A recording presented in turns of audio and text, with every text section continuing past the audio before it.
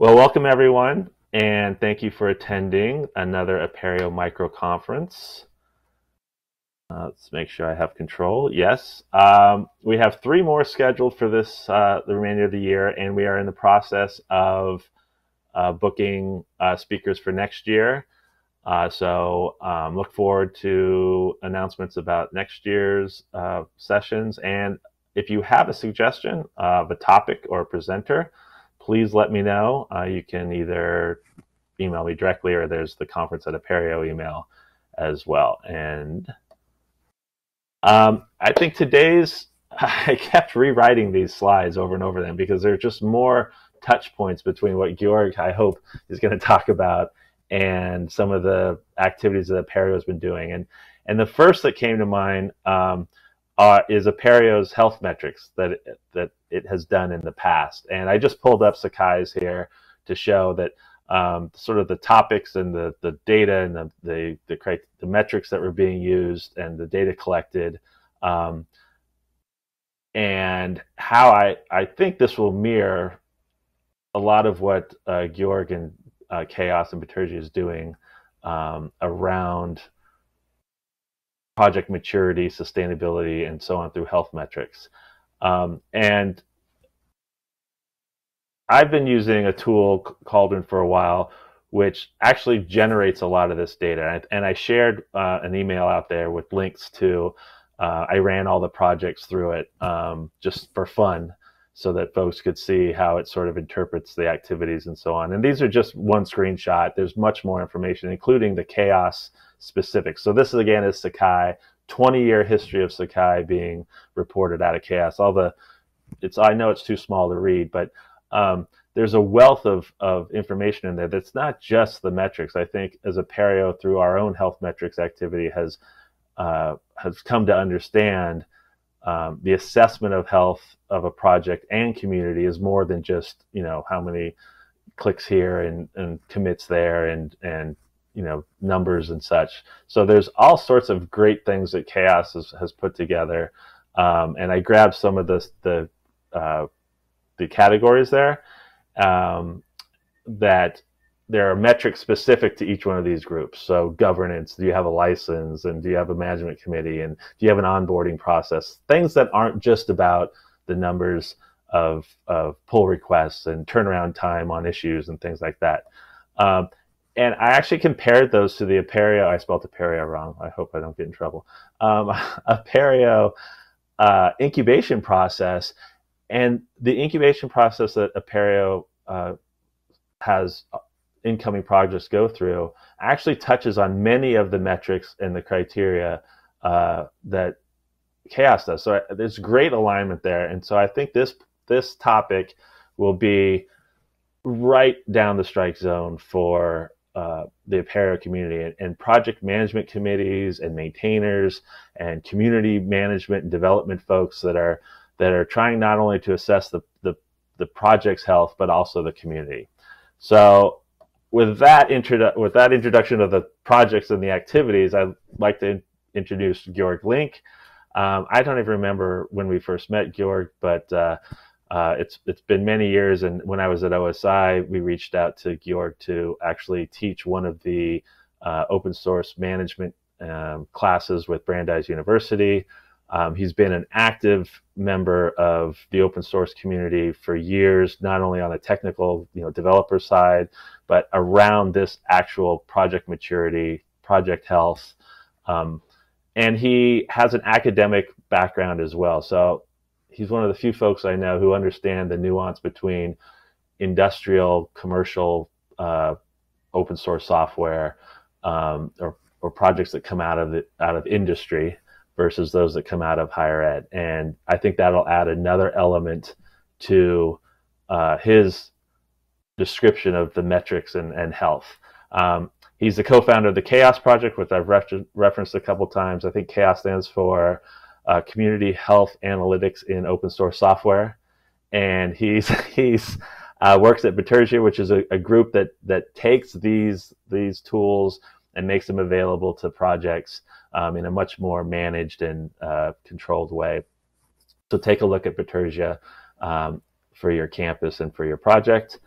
Um, so with that, I'd like to introduce Georg. Thank him for for uh, meeting with us today. And as he mentioned, he's going. He's happy to take questions and comments as uh, he's going through things. I'll monitor the chat for any uh, questions that you may have in case you can't or don't want to uh, speak up. Um, and if you're ready, Georg, I'm going to hand over control to you for presenter. Yes, thank you. And I I'd like to share a little story since you brought up my background of being in open source. And it does, I don't want to say taint or bias my view of open source, but it's an it's an interesting story that that explains how I look at at the world in open source. When I was in high school, uh, the first open source project that I really got interested in participating in was the OpenOffice.org project. And at the time, it was a project owned by Sun Microsystems with a very active community. And then Oracle bought Sun Microsystems. And Oracle had plans for the project that they weren't sharing. And so the community was left wondering, okay, what's going to happen to the project? And they've always been promised that at one point Sun would set up a separate foundation and create that community to self-govern and so on. And the community said, we'll just do it. Oracle's not talking to us, we'll do our own thing. And started the um, the document foundation. Because the trademark still belonged to Oracle, they couldn't name the project OpenOffice, so now it's called LibreOffice. But this, this movement of a community of people and volunteers, and there were other vendors that were supporting the ecosystem, went off and created their own project separate from the initial founding organization. That was so powerful and so impactful to my view on open source that when I had a chance to choose my research topic for my PhD, I selected corporate engagement in open source to really understand those dynamics. And that, that's my background. And my contributions have been mostly on the community side and on the side of how do we support the developers. Um, I dabbled in software development a little bit, but it's not one of my my favorite things to do these days. So anyway, I just wanted to add that little story of how I came to open source. And Patrick, you had these wonderful, wonderful graphs here and metrics from CHAOSS. And so before I dive into the, the topic that I prepared, I want to say a few things here that the alignment that you found with what Apereo is looking at and what CHAOSS has documented is not by accident.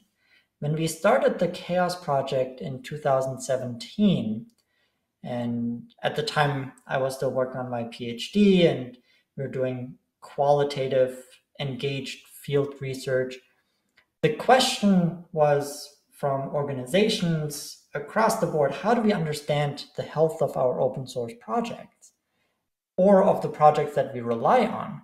Because we, we just had Heartbleed happen. Heartbleed was the vulnerability in OpenSSL that affected 80% of servers online. And, and so there was a big, big understanding, awakening that we need to understand the health of open source projects so we can manage it better.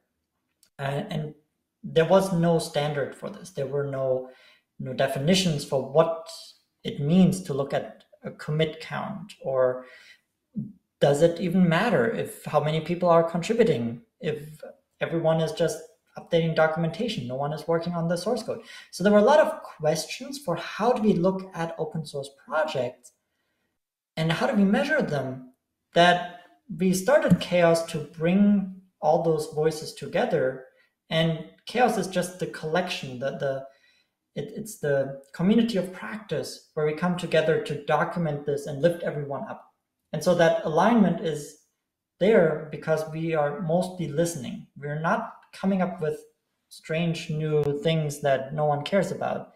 CHAOSS is industry, academic, practitioner voices coming together and building out these these standard vocabulary, standard technology, so that we can all um, work on project health. So uh, I just wanted to, to add that uh, to what you said, Patrick, and thank you for the great introduction. The, the topic for today is project health and academic open source. And I don't have the answers for you. I what I have is a synthesis of conversations that we've had around this topic. And my understanding and my view of the world. And so if you all on the call are willing to chime in and have a conversation, we can talk about all of these different topics. So what I've prepared are, are a few slides as guideposts that we can use to structure our conversation. And whether you feel comfortable unmuting and to chime in at any point, or have questions and comments in the chat. I really like an interaction with you. So the topic I think of in first we want to look at open source in academia so that we know what we are talking about. Then project health, how we understand it today and how we understand it in academic open source. I want to talk about metrics for Project Health, tying back to what Patrick was already sharing, what Apereo is doing and what we're doing in CHAOSS. And then I have some recommendations for ensuring project health in academic open source. And again, all of this is a few pointers, a few thoughts that I have. And I would much prefer to talk with you and hear your thoughts as well on this topic. So open source in academia, I think of it in three areas. We have the universities as institutions and organizations that use open source in their operations, in the libraries, in for databases, for wherever just to run as an organization, there is use of open source. Um, and this can be in, in competition to proprietary software. We also have education. Open source shows up in academia in education, whether it is that we are using open source tools um, for statistics and teaching those with the R language, for example, or that we are teaching the uh, Python programming, Python itself is an open source software. And so we have open source as something that we teach and educate on. We also have open source in research. And this is producing research outcomes and investigating our phenomena using open source in the process. Or sometimes we create software as part of our research project, and then we license it with an open source license. And so that's another area where open source, now we are creators of open source. And this is the, the third area. Now, there might be more nuanced ways that open source shows up. I, I think of it in those three, three high level areas. Now, each of those have different requirements for open source. That we are interested in different things. And when we look at project health of open source projects, the way that I define it is as the potential of an open source project to continue developing quality software. We want to have software that has high quality. That means we can use it, trust it, it produces the outputs that we need, and it's there for us in the future. We have seen that technology advances, and if tech, if the software is not maintained, It no longer runs on new operating systems. It doesn't run with new hardware. And also the requirements are changing. Software always needs to be evolving. And unless we have a project or a community behind that project, the software becomes unusable and irrelevant. So looking at project health, we're looking at what it takes to have that. And we know from, from research that there are three things we need for project health. We need the activity in project. Without activity, there is nothing being done on the project. We need the source code. We need that high quality source code, the interactions, the working on the what, what actually makes the software. And we need different people working on this. And there, there are different threats that we have when any of those are missing. And I, when I think of academic open source, I think of these, these threats or challenges to project health in terms of these five areas. And this is the, as I go through these, uh, if you want to add more in the chat or chime up afterwards, uh, I'm sure there are more that I'm not touching on. One of the challenges is long-term support. If we are users of open source as a university, we want to have the software and be able to rely on it. When it's open source, when it's proprietary and we purchase it, then there's a company that we can call up if something fails. We pay them year after year so that they continue to provide updates and maintenance. With open source software, sometimes there is no vendor. Sometimes there is a vendor. And if there's no vendor, then we're self-serving. So instead of paying someone, we need to budget for it and hire developers or uh, um, staff that maintains and runs the software. Uh, another challenge is continuity of contributors. With open source projects, or, or in academia, we have students coming, staying for the term of their project, their, their education, and then they move on. And they might be hired for a semester or two or three to work on a research project that might work on open source, but then they move on. So we have a churn or turnover that impacts any open source that we produce in our research project. Similarly, we have a challenge around continuity of resources. If we have a research project that allows us to create open source software and it's funded for three years, what happens after those three years? Who is going to continue working on that open source software? Especially as we go on to the next point, sharing the risk and cost, collaborating. If we have a research project create a really awesome tool for open source, um, tool that we license as open source, and then other researchers at other institutions pick it up and use it for their own research project. How do we how do we make sure that after the funding stops and our project ends, that tool can continue to be supported and live on outside? So those are those are questions about how do we set up these projects, the governance around them.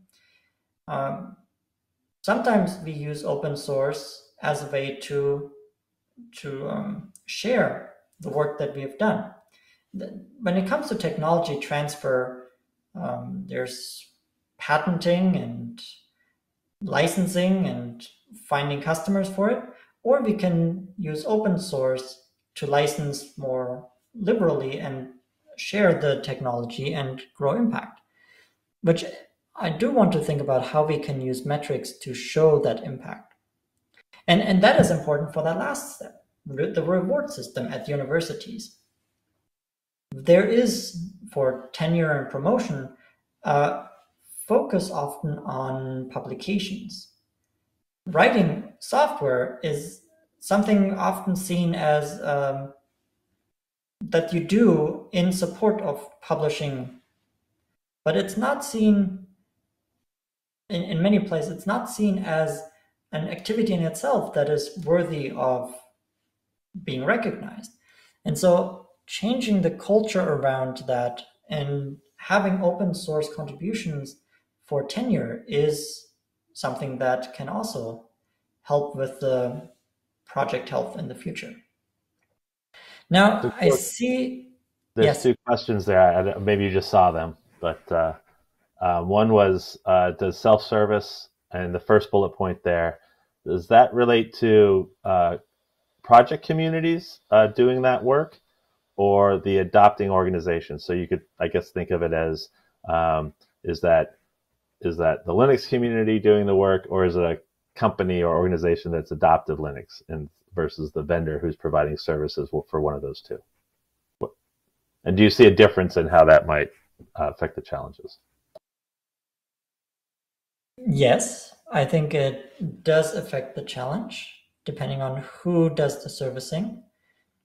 When I put down this uh, bullet point, the scenario I had in mind is um, a library at the university that is using an open source tool for their catalog. And they, they might choose an open source suite that is available, but they're not hiring uh, a company to set it up, to maintain it, to run it. And so the, the library, the university library is using the software and needs to have someone on staff that keeps an eye on the software, updates it. If there's an update in the community to pull it down, uh, if there's a bug or feature request that they need to work with the community to upstream that. So that is the scenario I had in mind. Do you want to do you want to talk about how that relates to your question and what the other scenarios you had in mind? Um, well, I guess I was thinking, I think often, or perhaps in my experience, that there's often a sort of bind, those two options, the vendor support and self service, are, are recognized. Um, but the, the self service that you call it, um, there tends to be a, like you said, oh, we have to hire a developer. And is that the only way to support the the uh, is that the only option other than a vendor? And then what are the options with perhaps an organization uh, working more closely with the project itself? So yes, they'll have to have some contact person on their campus or in their organization to be part of that community. Um, but obviously the, the skill set of the community is going to be broader than any group of people that can be brought into the to the organization or else they'd be replicating the project. So there becomes a question of how do you effectively and authentically engage at different levels? You might have one person 10 people working in that library but um, how are they engaging uh, with the project? And are there best practices for that for those that engagement? And later on, perhaps when you're talking about metrics to assess that, how can our campuses, for example, best engage with the Sakai project or the Opencast project or the CAS project? These are Apereo projects. How can we foster that engagement for those who have little resources at the library and a lot of resources at the library? Yeah, that's a good question. I personally have a preferred model for how to engage, and that is by having someone on staff that manages the deployment locally and works with the community as liaison, as someone that transfers knowledge, that knows what's going on in the project so they can apply it in their own deployment, but then also brings back any any user feedback, any questions back into the community. And they, they serve a dual role, being part of the open source project and being part of the university campus taking care of the software. That is my my preferred option that I would love to see more often. Um, it is possible to just take the software, run it locally, and then not be working with the community actively and be part of it and contribute back. And that starts to create um, friction. At, at least that's what I'm seeing is it starts to create friction where software versions don't get updated, we fall behind. If we make changes locally and don't contribute them back to the community, make sure they get included in future versions. Now we are creating a patch set where it, it becomes harder and harder over time to have the custom features that we put into the software and stay in line with the upstream new versions that are being released. And so we might even choose not to update at all until it our own system becomes super old and unmanageable. So those are those are some options. Um, it is also possible to hire contractors or hire someone from the community for occasional work to come and help set it, set things up, um, do a little project, add new features. Um, so yeah, if, if we look at how organizations engage in open source, there are different models like that. Then I see another question is, are there issues related to competition? Can you um, can you expand what you mean by issues related to competition? Um, long ago, um, I did when I was working on my own sort of uh, uh, open source maturity model index. Um, at, for fun, I looked up how many open source learning management systems I could find, and I mm-hmm. found there were 256. and they varied from sort of little projects that perhaps a grad student was working on for a very niche discipline or something like that, um, to fully robust Sakai, Moodle sort of examples. Um, and so I could I can understand that there might be architectural or technological differences that drive some folks. They want to work, you know, in a LAMP environment or a Java environment, or this is pedagogically. There's different reasons for developing elements, so there might be reasons to have different learning management systems um, based on a few factors. But at some point, those become exhaustive, and everyone's sort of working on learning management systems, and we're repeating the work. So um, uh, there's two folds. There's the the the competition for resources and developers. So it's like, oh, which project am I going to join? Do I start my own? Do I fork something?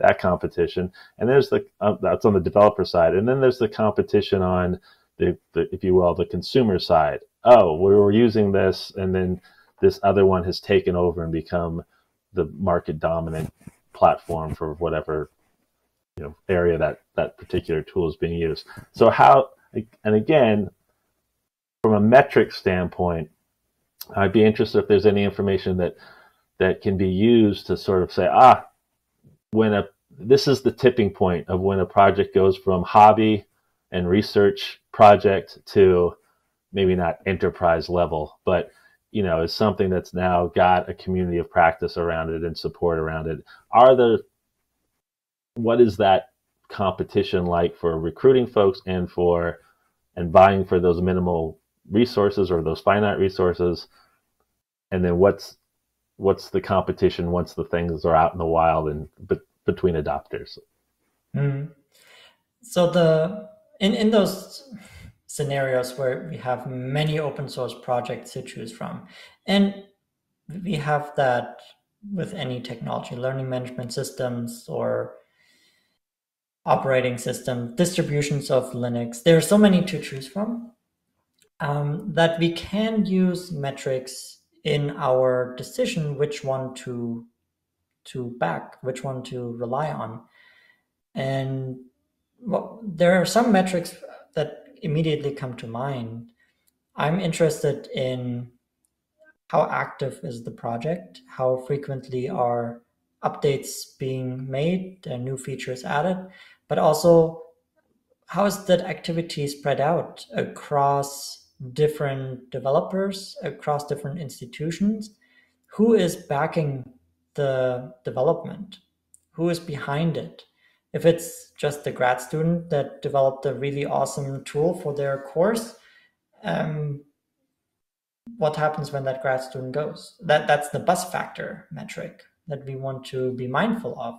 Whereas a system like Moodle that has been around for a really long time and has I don't know their numbers, how many developers they have, then we can be more confident that there will be still development and ongoing support in the future.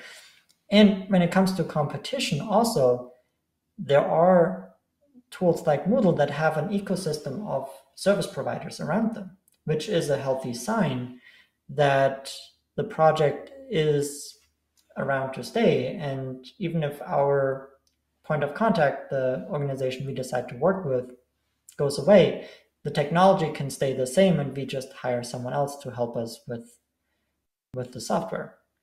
So organizational diversity as a metric is in, interesting to choose open source projects.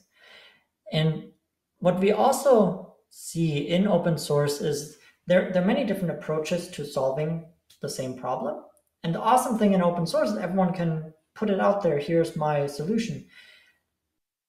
And then we we see a standardization occurring at some point where a lot of but where one project or a few projects get the most mind share and, and get a lot of attention and people start going in with those solutions as the default and the the pie is then divided into a few big pieces while all the small ones are still there and they have their own fan base and users often there are some open source projects that just get a lot more attention.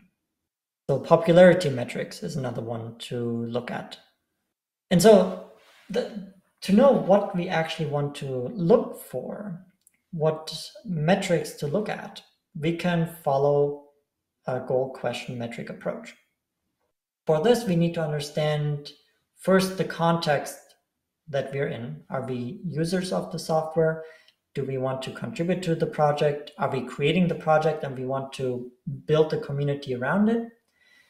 And knowing that background helps us decide which metrics to choose. In CHAOSS, we have defined more than 70 different metrics. And I don't, I'm not going to talk about specific metrics here as part of these slides because it really depends on the context and which ones you want to apply. So I want to more um, talk at the higher level about the idea of how we would go about applying metrics. And there, there are different kinds of metrics that we can look for. We have the trace data that we can analyze. This is accidentally created data. As uh, someone who makes a contribution to open source, I create an entry in an issue tracker, letting everyone know here, I'm working on this. This is what I'm planning to do. Here's my solution. I'm creating a pull request or a code change that is being reviewed. Um, we have the review history, mailing list archive, in the Git log where we have the history, the version history of the software. That is created as a way to manage the project and we can analyze that trace data. It's like the footsteps that we leave behind and we can start looking at. And so we, we can look at the contributions data to see who is active in the project, what are they working on, how is that collaboration happening, or is there even collaboration? Are the different contributors just working in their own corners of the project and they don't overlap in the files that they edit or um, when there are issues, they don't talk to each other.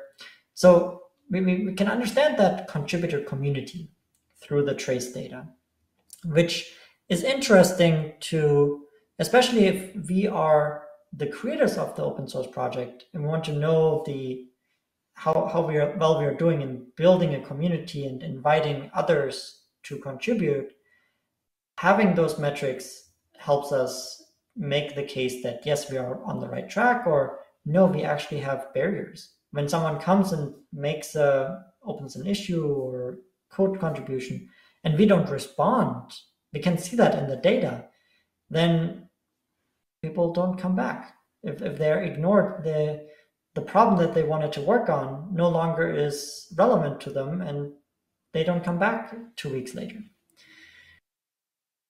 So having metrics around that helps us manage and grow projects. We can also have usage and adoption data. And this is interesting for, for writing funding requests, for showing to our funders that the work we're doing in open source, we have this many downloads, we have this many um, different organizations using the tool that we created.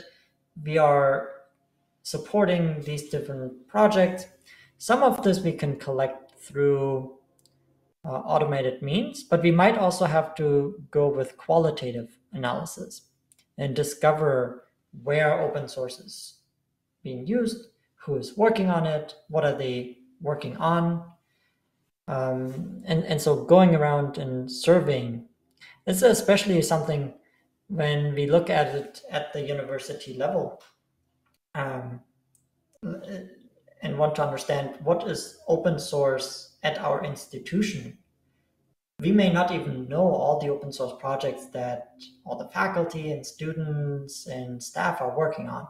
So we might have to send out a survey, say, hey, please give us your GitHub username so we can look at what activity you have in open source, or please identify the projects that you're working on so that we can use the data to tell compelling stories. And some of the stories are not in the data that we can see, we might have to talk to the developers, to the students, to the staff, to other institutions that are using the tool to discover what are the interesting stories around our open source projects. Because data is and, and the metrics are only a means to an end. It is not that we want to have, ooh, we grew by 20% unless we use that for something, it, it doesn't matter. I see another question popped up. I feel like I'm hogging the mic here, but uh, hopefully people will be emboldened by all my questions, or they'll just be so tired of hearing my voice they'll want to hear someone else's and chime in. um, but following up on that, you got a little bit into the education specific realm, but do you have you has CHAOSS or have you discovered education specific metrics that are that you that are more prevalent or relevant um, within open source projects that emerge out or are developed out of education or are there differences in the data that is collected or that is captured from or created from educational institutions versus non-educational institutions for the same metric so that's an ongoing conversation and discovery process. I wish I could already tell you this is what we've found. Uh, we have a working group in CHAOSS that focuses specifically on the academic context. And we are looking at the building out metric models where we say these are, of all the metrics that we have, the ones relevant for this specific context. And the, what I'm showing you on the slide here is the way that this academic working group in CHAOSS is structuring the conversation. And I'm, I'm showing this as a, as a primer. There's not enough time to go into all the details, but if this is interesting, I invite you to join the working group's work. So go, following the goal question metric approach, we want to start at the top with the context. What, what do we want to achieve as a university? Um, one is research excellence. One is research translation. One is education, and then also distribution and community. Those are the high level, um, high level goals that are keep coming up in conversations. And then we can go down underneath that on what is it specifically that we want to do. So for research excellence as a big goal and concern, we might want to look at improving research reproducibility and replicability. Or we might want to look at correlating open source activity with research funding. And there are different things that we can do with this work. Um, and I have an example here, and th this is still early days conversations um, where we don't have all the answers yet. We're still working through this. Uh, but to give you an idea of how we are approaching this. So for the research excellence category and looking at correlating open source activity with research funding, we're starting to think about, okay, where can we get data to answer this question? And one approach is mining databases for mentions of software repositories like ScienceMiner, um, finding mentions in research papers. We also have uh, the idea of a repo browser where we can have the repositories relevant to our university and seeing how many people are in, in that repository. Or we can look at uh, sponsored research and we identify that open source activity by making it a part of the submission step. So when someone creates a research grant, then we ask them as a university, hey, does this include any open source work? Tell us about it. So, so we start collecting data. We have to come up with strategies around how do we get that data and then we can use that to go for bigger grants, for highlighting the good that we're doing, for showing the translation. If, if we, and with translation, I'm, I've come to understand this as the work that we're doing at the university and the ideas that we're creating and what we're doing in open source is being used by organizations, by other universities, and is having an impact outside of our research team. So that's that's something that I like to think about. Um, Benito asked or, or stated an interest in learning more about the working group. The working group, I, I can pull up the information and share it here in the chat. We have the uh, here is the meeting minutes document. So on our website, um, there's a way to find this.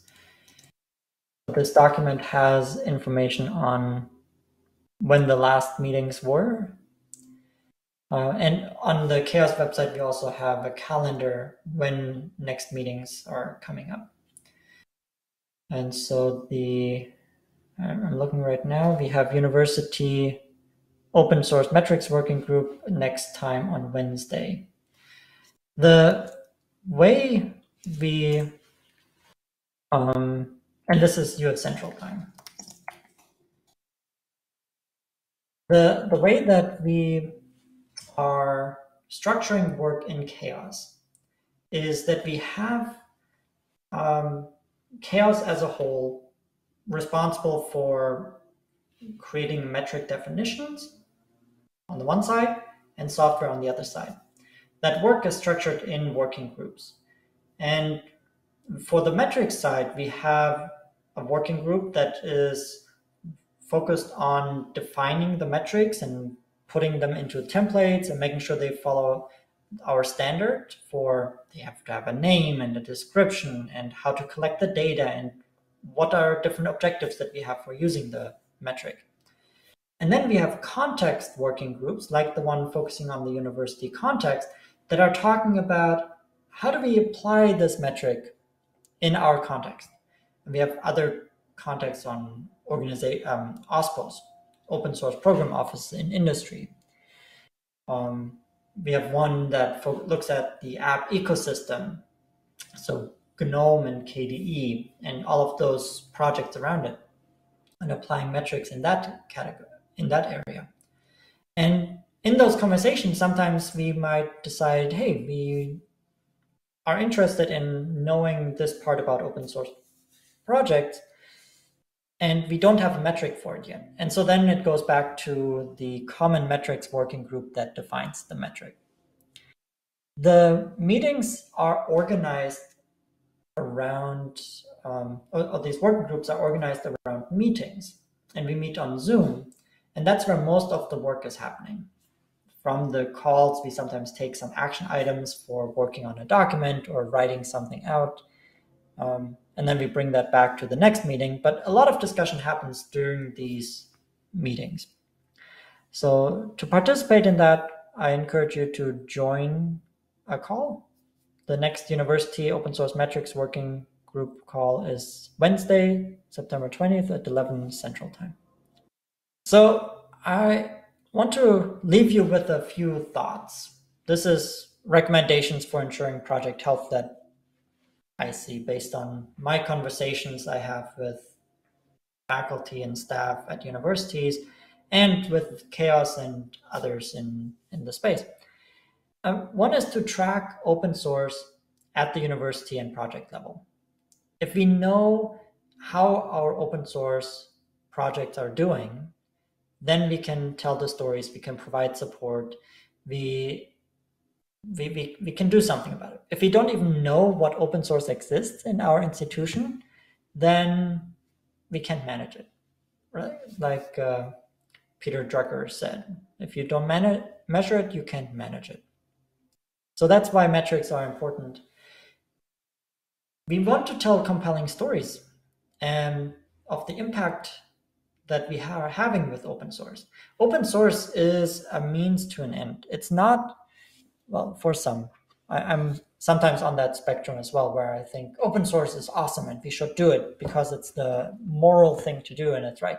But often it's it's not the end goal. We use open source because it reduces barriers to collaboration. It allows us to share our work more freely. And so we want to support those goals. And we need to tell the stories around how we achieve that. That's why we need the metrics and the data. And it helps us to then go after more funding or we put into our funding that we are building a community so that we can sustain the project after the research project ends. And we report back to the funder on how well we've been able to recruit other organizations using or working on our tool. And then we also want to, and I think it would be fantastic. This last one is really a wish that I have. Uh, change the mindset. And this is not just in academic open source, this is in open source in general. There's the mindset of the creator of an open source project getting all of the praise. And if we uphold people that create new open source projects, then we are not valuing the long-term maintenance and support that is required. And once something is created, let's start reusing it. So changing that mindset to valuing more people that step up and continue to maintain and improve something that already exists can help project health at in open source, in academic open source as a whole. So, and this is challenging, even in in research. Um, I know often someone who has a new idea and comes up with a new theory gets a lot of praise and recognition, and then someone who improves on it and, and uses it in a in, in, a new context and helps people with that, they, they don't get as much attention anymore. And we have the same thing in in open source. So that, that is my personal view and my personal wish list. Um, I know we have about five minutes left. I'm happy to hear more questions. Um, Patrick, if you have something or if anyone else has something. So I, I guess one of the issues that I feel is common is that open source suffers through the procurement processes that most universities employ when identifying uh, new platforms, services, software, tools, whatever it may be. And uh, because open source projects, while they might have commercial providers that are supporting your example of Moodle or uh, for us Sakai, um, it's it's not often that those companies will respond to RFPs, um, uh, and the projects themselves don't have the resources to respond either. So, are there examples, or could there be uh, a practice of using CHAOSS to identify mature, sustainable, healthy projects for campuses. Um, in the same way, if you look at an RFP, it asks all these sorts of questions about the health of the company and the and the features and so on. Um, is there anything like that that's happening that that or could there be? Is there a, a vision of that if it's not happening now? Uh, I don't know. Your thoughts on that would be interesting. Yes, I I think that would be fantastic to arrive at that place there's nothing in place right now. and, and I think that is a, a challenge. Um, in fact, there is a an, an, organization that we were just talking in the CHAOSS Project with. Um, they're called Scoutflow, um, and their goal is to make open source solutions more competitive against com- um, proprietary commercial offerings. Um, and we were talking with them about integrating CHAOSS metrics into their their platform where so different alternatives to proprietary solutions are offered um, and providing a project health score.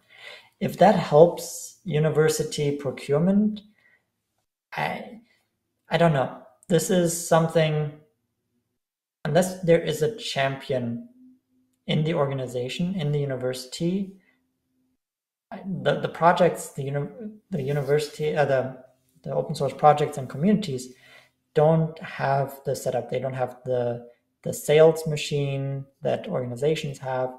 So I find it really difficult um, to see how that would work. We've seen it in politics. Um, if we look at something like the example in in Munich in Germany. I know they even developed uh, Linux, the, their own Linux distribution for the administration. But then once the political will faded, Microsoft just got a foot in the door and things went back to how things were before. Um, I see Benito wrote that Unicon is a big proponent of uPortal. We often respond to RFPs. I think it has helped with uPortal sustainability. Uh, do you want to talk a little bit about your experience, Benito? I see you only have listening mode on right now. So if you want to speak up, you would have to leave audio and come back with the microphone. I think we're also at the end of our time. Yep, we do. Um, so that's what Benito said. Um, yeah, I, want to sell, we do have very active, we're fortunate, Apereo is fortunate to have very active commercial affiliates who do provide, you know, do do a lot of work in raising awareness um, and, and helping campuses discover and, and understand not just the tools like uPortal, but open source mm-hmm. itself. Um, and I think that has led to our sustainability. Um, so I, I guess one of the I guess I'm looking at that as as Unicon goes to address and, and reach out to campuses, having these metrics would be a way to um, comfort or show off the maturity and capabilities of not only the, the project but the community to give because campuses just don't have that assessment model. It's like, oh well, you're a billion dollar company, you must be good, yeah. right? So what's the equivalent metric that um, that we could help Unicon next time they go out to to, to introduce uPortal to some some campus that they say, oh, okay, this is because these metrics are this. Um, it gives yeah. us, you know, we're more secure in our decision making or confident in our decision making. Yeah. And I, I work in sales. We can talk about this much longer, what it takes to get through the procurement process. um, but I, I, do think it, it can help to have good use cases and stories and the metrics about the project um, that back up that, hey, this is not just a project that will go away, but it has a lot of backing and development behind it and organizations using it and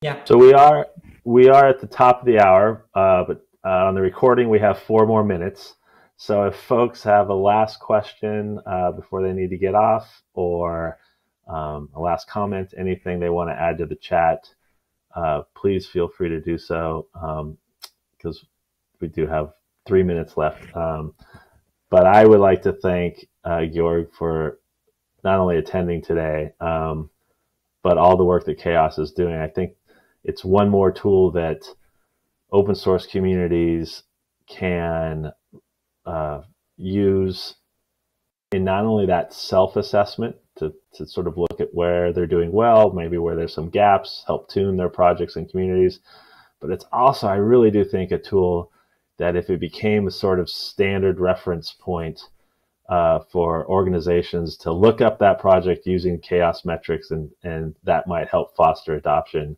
so that they're getting the confidence as they do that analysis, looking for new tools and such. So thank you, Georg, um, for that work and for your time today. Yeah, my pleasure. Thank you for having me. I, yeah, I, I hope you learned something. As always, uh, my something that I'd like to do. And I'm happy to continue the conversation uh, in the CHAOSS project. Do join us on the community calls. The university working group is open to anyone. If you have time, join us there. And otherwise, I'm available on LinkedIn and email. You can reach out to me. Happy to connect. Okay, great. And I'll share your contact information when we send out information about the recording. Uh, thanks again and uh, we'll talk to folks next month.